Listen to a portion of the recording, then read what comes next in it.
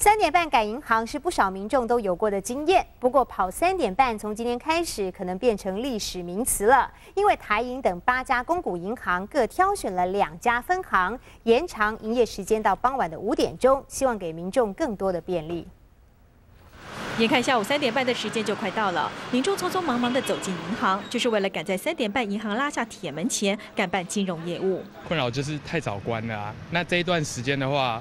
我比较。没有办法抽空出来办一些正事。但另一家银行三点半时间都过了，却还没拉下铁门。仔细看看公告栏，原来台银、土银、和库、兆丰银、第一、华南、彰化、台庆银等八大公股行库，分别挑选两家分行，从十二月一号起，周一到周五延长营业时间到下午五点，让民众存款和缴费更方便，不用再赶三点半。一般民众也有跑银行的困扰，到中午的时间大家都银行，时间不够。那现在因为电脑科技的发达哈，其实现在很多事情都电脑在处理，所以像像本行的话，这个这个结账的这种电脑的制度也做了蛮大幅度的修改。其实银行延长营业时间到五点并不是第一次，部分民营银行早在两年多前就已经开始实施。银行延长营业受理的业务包括有存款提款以及开户、定存和各项的贷款咨询、收件等十三项。但如果是跨行或代办业务，像是交换票据、跨行汇款以及代缴税款是不能办理的。原因是为了金资中心三点半的截止作业时间。